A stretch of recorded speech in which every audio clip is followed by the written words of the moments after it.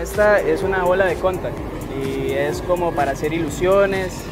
Contact es por el, por el contacto, ¿verdad? Que pasa por todo el cuerpo, este, es para hacer equilibrios y tiene mucho de ilusiones Soy aspirante a malabarista hace como cinco años y hace como cuatro años este, empecé a hacer eh, arte callejero, arte urbano, que soy malabarista de semáforos.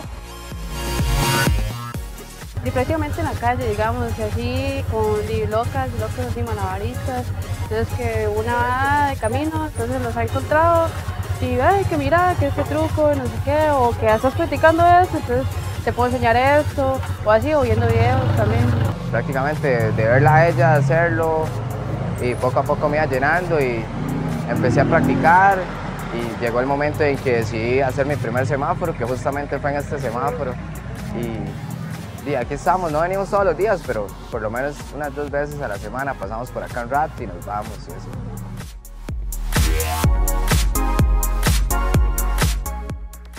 Y mi vida aquí en el semáforo, pues ya hay como la de todos, ¿verdad? Iniciarla y trabajar duro todos los días.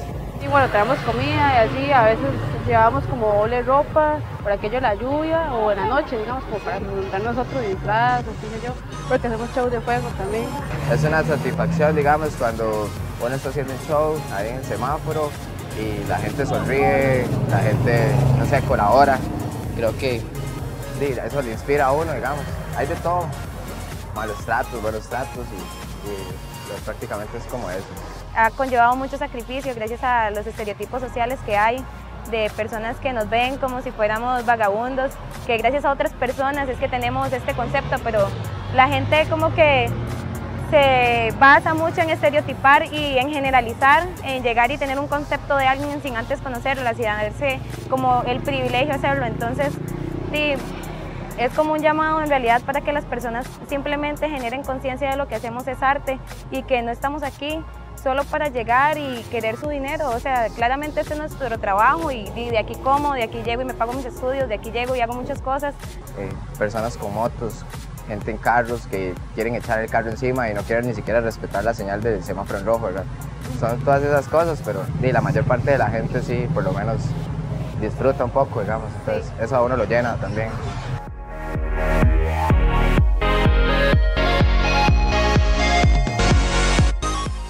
Estar aquí en el faro y que venga, digamos, un carro así, pum, y que frene y pum, y que parezca que ya se lo va a llevar a uno y uno, Y bueno, ese día fue como que, yo ya como, ya había terminado el show, estaba cruzando la pista y ya en el último carril apareció la moto y